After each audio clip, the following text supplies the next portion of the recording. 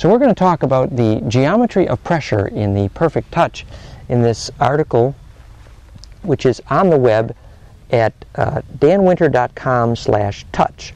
And I'm bringing up a mirror of it right now here. And the article is derived from the work of Dr. Manfred Clynes, who wrote the book uh, Sentics, which is about this uh, waveform technology.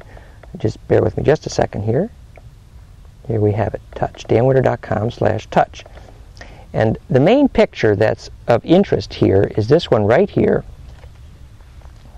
which is about the waveforms that Dr. Manfred Clynes determined internationally were the way would, people would touch in order to express different emotions.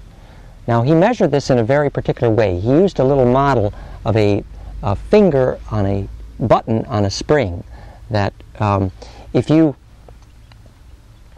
you put a button on a spring in front of a person and said, "Now touch this button in such a way that you that you feel joy," say, and so you would touch the button on a spring and convey that emotion in the shape of the way you would touch the button, the way the pressure would change over time.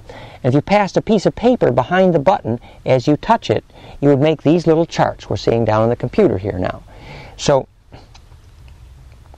the axis along the bottom, the uh, x-axis, is the change in time, and the y-axis here is a change in the amount of pressure, where the increasing amount of pressure was when the wave went downward. So here's the change in pressure over time with a touch that said joy internationally. And notice that the touch that says anger looks a little bit similar, but the moment of maximum pressure occurs a little bit sooner. So there's essentially three events in these sentic waveforms for emotion. There's the beginning of the, uh, this, what I call the beginning of the squeeze, the end of the squeeze, and the point of maximum pressure, or the point of the maximum squeeze, as it were. So I analyzed what Manfred Clynes did and came up with this simple series of ratios, where the touch that said joy is a touch that occurs one sixth into the duration of the event. Whereas if you're squeezing somebody to say that you love them, the point of maximum pressure is much delayed or tantric or it waits until about 0.618 into the duration of the squeeze or hug that says love. So let's try to understand this in practical terms. Now, first of all, he showed this happened around the world, that he was experimenting with uh, the fact that when he touched his violin string, if he used rubato or uh, gave shape to the fold of the way he would touch the violin string when he played his violin, that this would determine whether or not people would cry.